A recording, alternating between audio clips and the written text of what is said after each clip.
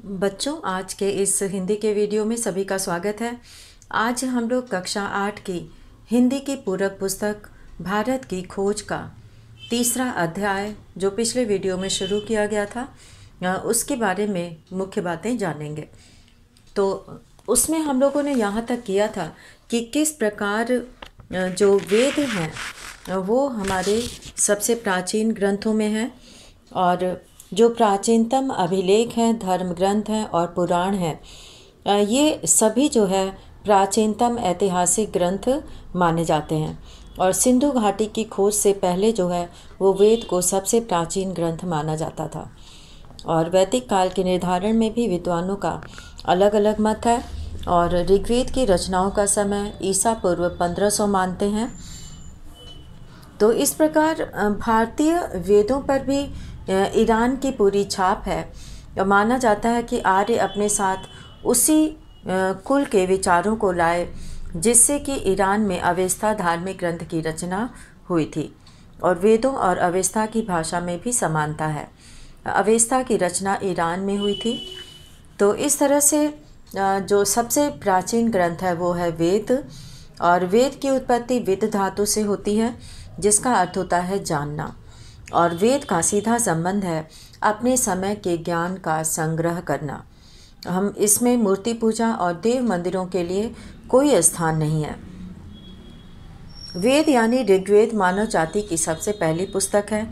इसमें मानव मन के आरंभिक उद्गार मिलते हैं, काव्य प्रवाह मिलता है और प्रकृति के सौंदर्य का वर्णन इसमें और उसके रहस्य का वर्णन इसमें मिलता है।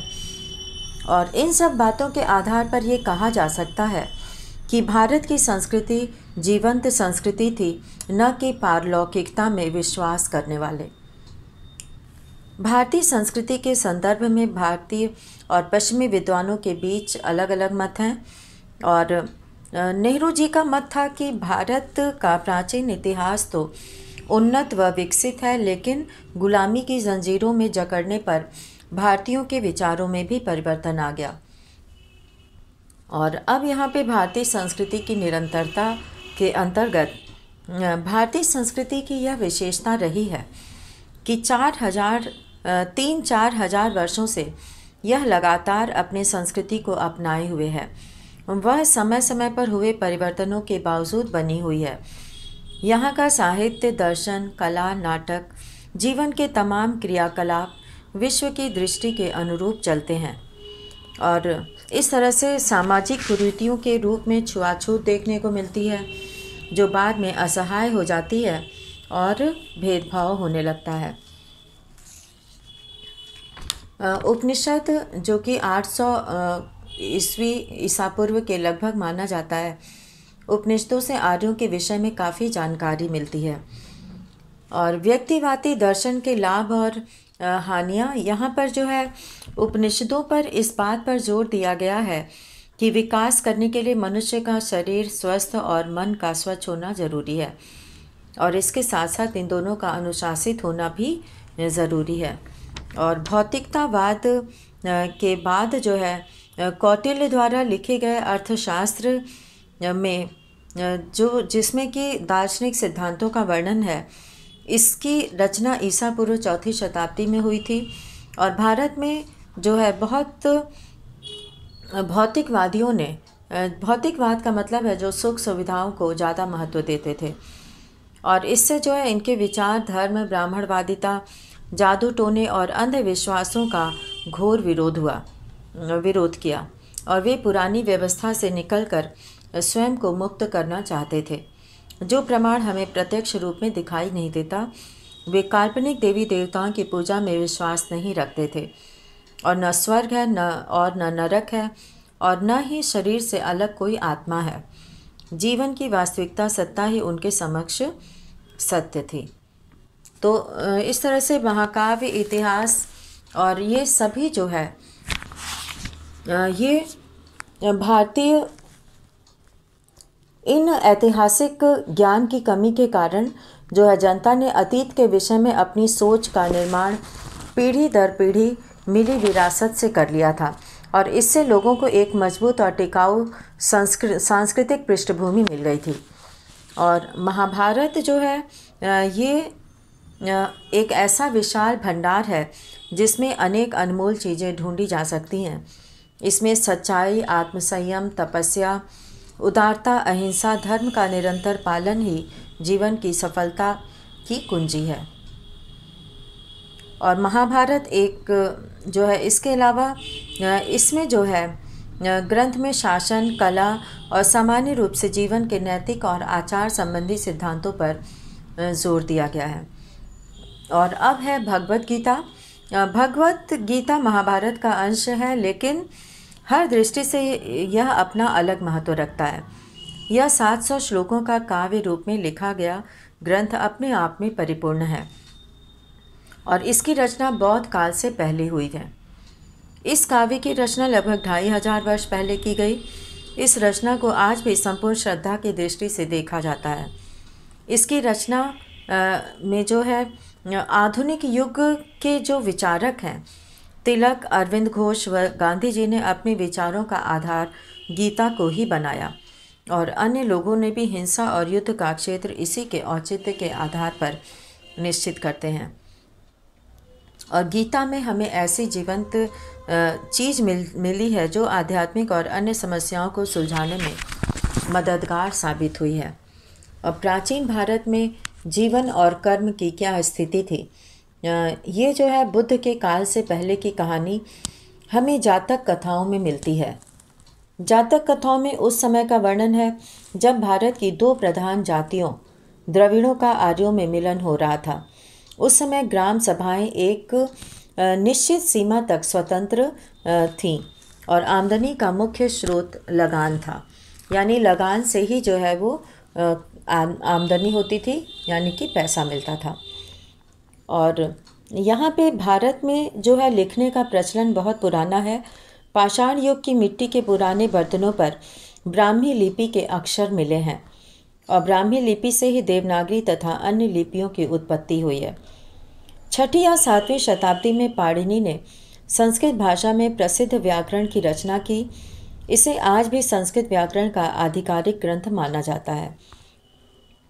महाकाव्यों के युग में तो जो है वनों में स्थिति विश्वविद्यालयों तथा महाविद्यालयों का भी वर्णन मिलता है। और चरक सम्राट कनिष्क के दरबार में राज वैद्य थे और उनकी पुस्तक में अनेक रोगों के इलाज का वर्णन है। शल्य प्रशिक्षण के दौरान मुर्दों की चीर फाड़ कराई जाती थी। सुश्रुत द्वारा अंगों को काटना, पेट काटना, ऑपरेशन से बच्चों को जन्म दिलाना आदि का वर्णन है। और बुद्ध में लोक प्रचलित धर्म, अंधविश्वास, कर्मकांड और पुरोहित प्रपंच पर हमला करने का साहस था और उनका आग्रह तर्क, विवेक, अनुभव और नैतिकता पर था। बुद्ध ने वर्ण व्यवस्था पर वार नहीं किया, लेकिन संघ व्यवस्था में इसे जगह नहीं दी गई। वर्ण व्यवस्था के विरोध में समय समय पर इन्होंने अपनी आवाज़ बुलंद की, लेकिन भारत में इसकी जड़ें और भी मज़बूत होती चली गईं। जैन धर्म जाति व्यवस्था के प्रति सहिष्णु था और स्वयं को उसी के अनुरूप ढाल लिया था। इसलिए आज भी हिंदू धर्म की शाखा के रूप में जीवित हैं। दूसरी ओर बौद्ध धर्म ने जाति व्यवस्था को स्वीकार नहीं किया। यह अपने विचारों तथा दृष्टिकोण में स्वतंत्र रहा और बुद्ध की पद्धति मनोवैज्ञानिक विश्लेषण की पद्धति थी।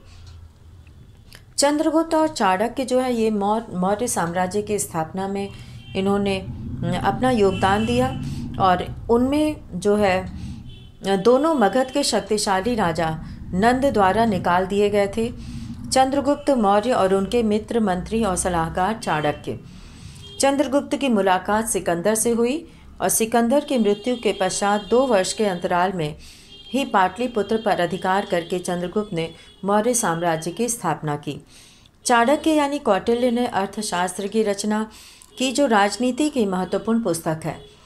इस पुस्तक में व्यापार, वाणिज्य, कानून, न्यायालय, नगर व्यवस्था, सामाजिक रीति रिवाज, विवाह, तलाक, कृषि, विधवा विवाह, लगान, दस्तकारियों, जनगणना आदि का वर्णन है। इसमें विधवा विवाह और विशेष परिस्थितियों में तलाक को भी मान्यता दी गई है। यानी उन्नत राज्य की नींव चंद्रगुप्त राज मौर्य ने रखी। और राज्याभिषेक के समय राजा को इस बात की शपथ दिलाई जाती थी कि वह प्रजा की सेवा करेगा तथा प्रजा के हित एवं इच्छा को ध्यान में रखेगा। यदि कोई राजा अनीति करता है तो उसकी प्रजा को अधिकार है कि उसे हटाकर किसी दूसरे को उसकी जगह बैठा दे। और अशोक इसके बाद अशोक का वर्णन आता है। चंद्रगुप्त मौर्य द्वारा स्थापित मौर्य साम्राज्य का उत्तराधिकारी दो सौ तिहत्तर ईसा पूर्व में अशोक बना। इससे पहले अशोक पश्चिमोत्तर प्रदेश का शासक था, जिसकी राजधानी तक्षशिला थी। और इस समय तक इस साम्राज्य का विस्तार मध्य एशिया तक हो चुका था। और अशोक संपूर्ण भारत को एक शासन व्यवस्था में लाना चाहता था। भारत को एक शासन व्यवस्था प्रदान करने के लिए अशोक ने पूर्वी तट के कलिंग प्रदेश को जीतने की ठान ली और कलिंग के लोगों ने बहादुरी से युद्ध किया, लेकिन अशोक की सेना विजयी हुई। इस युद्ध में लाखों लोग मारे गए तथा घायल हुए। जब इस बात की खबर अशोक को मिली तो उसे बहुत ग्लानी हुई और उसे युद्ध से विरक्ति हो गई तथा वह बौद्ध धर्म का अनुयायी बन गया। अशोक के कार्यों और विचारों की जानकारी हमें शिलालेखों से मिलती है, जो पूरे भारतवर्ष में उपलब्ध है। तो यहाँ पर हम लोग कुछ कठिन शब्दों को देखेंगे, जिसमें कि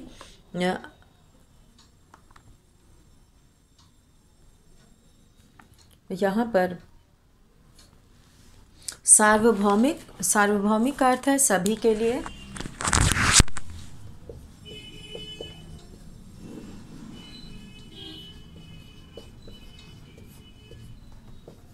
सभी के लिए।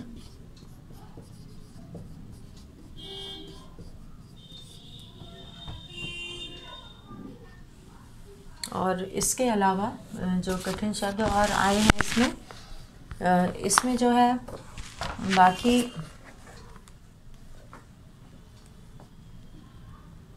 चिर नवीन का अर्थ है,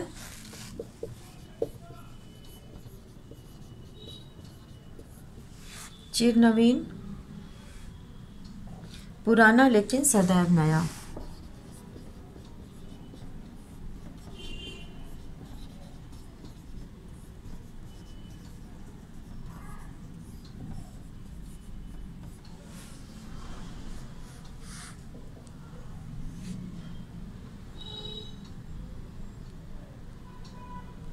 और इसके बाद यहाँ पर संकल्पना यानी कल्पित रूप।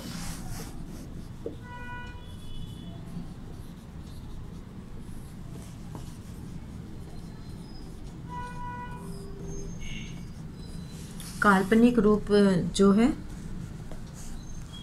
भौतिकवाद जीवन की वास्तविकता वास्तविकता में विश्वास करना। भौतिकवाद। जीवन की वास्तविकता में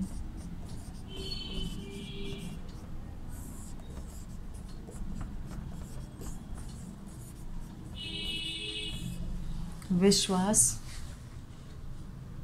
करना।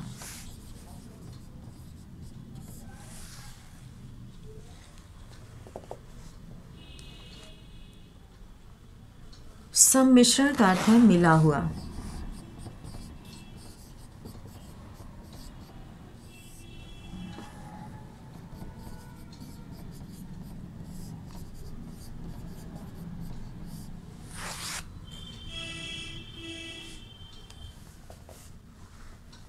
यथार्थवादी का अर्थ है सत्यता के धरातल पर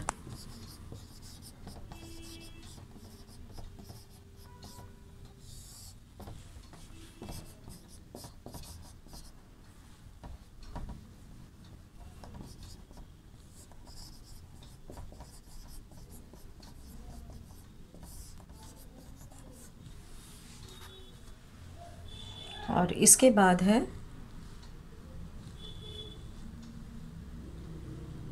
अनवरत अनवरत मतलब लगातार।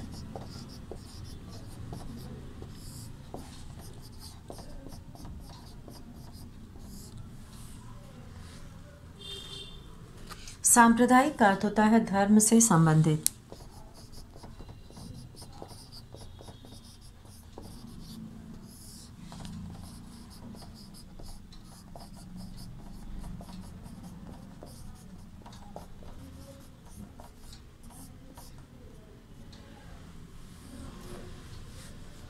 सांप्रदायिक धर्म से संबंधित।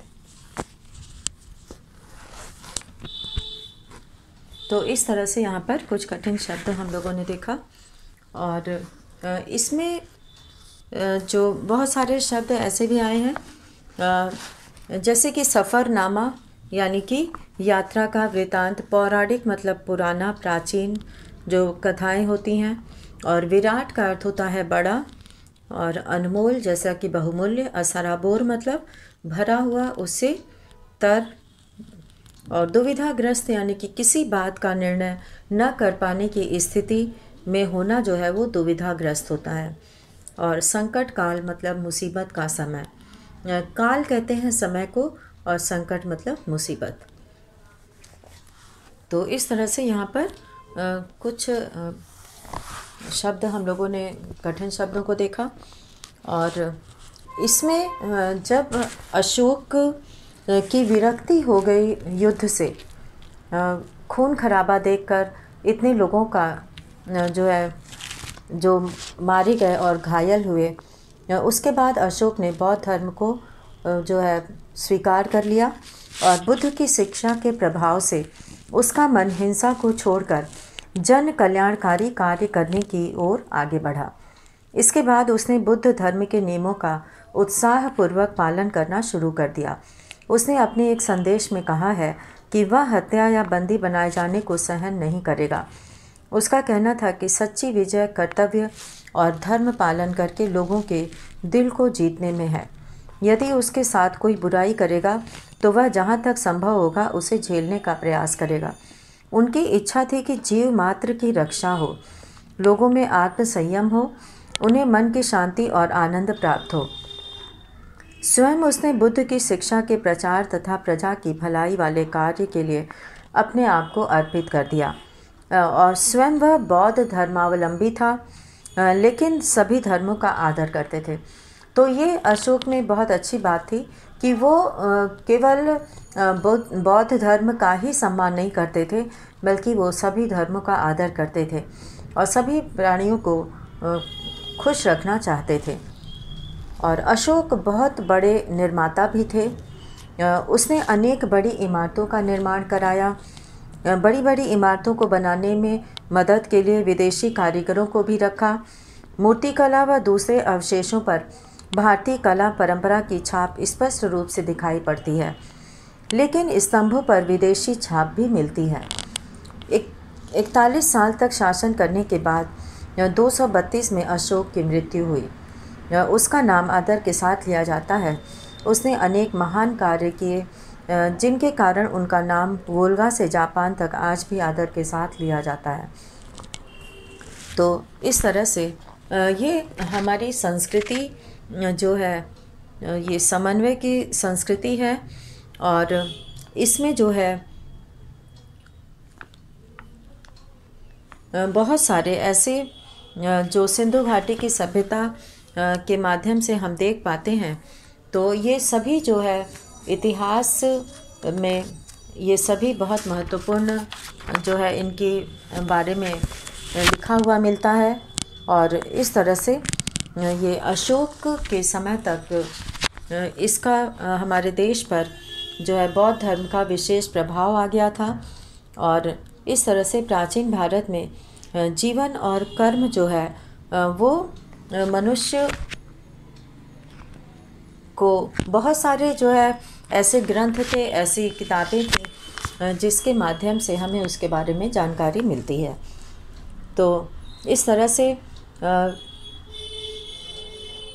पहले के जो सम्राट हुआ करते थे, वे अपने प्रजा का बहुत ध्यान रखते थे और उन्हें जो है इससे उन्होंने प्रजा के सुरक्षा के साथ साथ बहुत सारे भवनों का निर्माण, इमारतों का निर्माण भी कराया और मूर्तिकला और दूसरे जो अवशेषों पर लिखे हुए मिलते हैं। जो अवशेष हैं उस पर उनमें जो विदेशी छाप दिखाई देती है, उससे ये पता चलता है कि अशोक ने विदेशी कारीगरों को भी अपने यहाँ काम दिया और उनसे जो है निर्माण कराया।